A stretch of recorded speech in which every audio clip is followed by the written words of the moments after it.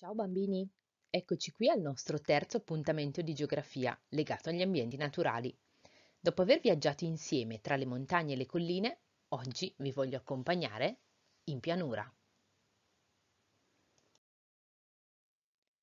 La pianura è un territorio pianeggiante, senza rilievi, che non supera i 200 metri di altitudine sul livello del mare. La pianura è attraversata da fiumi navigabili e da grandi vie di comunicazione, come autostrade e ferrovie. In pianura ci sono due tipi di paesaggio differenti. Il paesaggio rurale, che è caratterizzato da campi coltivati e fattorie, e il paesaggio urbano, caratterizzato dalla presenza di città, paesi e zone industriali. Le pianure si sono formate tantissimi anni fa e hanno avuto origini diverse.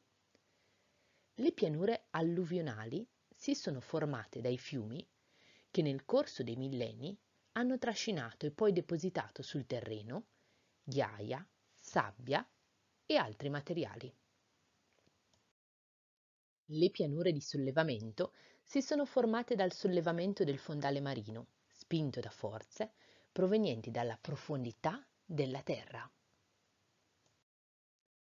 Le pianure vulcaniche si sono formate ai piedi dei vulcani, dove si erano depositate la lava e le ceneri eruttate. Un tempo le pianure erano ricoperte da paludi ed estese foreste di latifoglie. Oggi la vegetazione spontanea invece è molto più scarsa. È costituita prevalentemente da tigli, pioppi, salici, robinie e canneti. In pianura troviamo molti animali. Vivono piccoli mammiferi come il ghiro, il riccio, la lepre, il topo e molte specie di uccelli, come la rondine, l'airone cinerino, il merlo e il fagiano. Nelle zone protette ci sono boschi popolati da cinghiali e volpi. Negli stagni troviamo invece le bisce d'acqua, rane e rospi, libellule e piccoli pesci. L'uomo ha abitato la pianura fin dall'antichità e l'ha trasformata adattandola ai propri bisogni.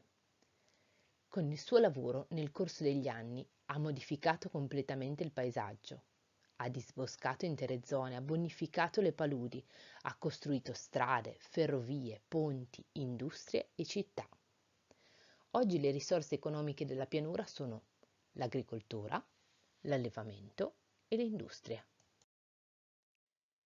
Le coltivazioni più diffuse sono soprattutto gli ortaggi, le barbabietole da zucchero, gli alberi da frutto, come la vite, gli agrumi, i cereali, come il grano, il frumento e il mais.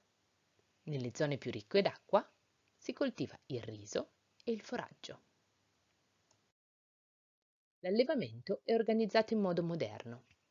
Si, allega- si allevano soprattutto pecore, maiali, mucche e animali da cortile, come galline, conigli, tacchini, per la produzione di carne, latte e uova.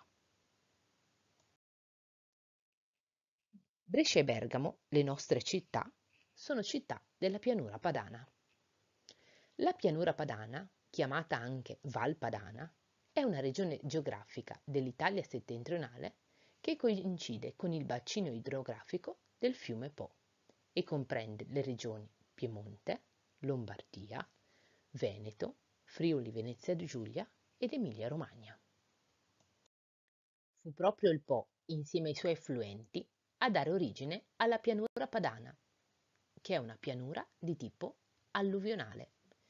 I corsi d'acqua, scendendo dalle montagne, trascinavano con sé enormi quantità di detriti. La pianura padana si può però dividere in tre grandi zone. L'alta pianura, la bassa pianura e la fascia delle risorgive.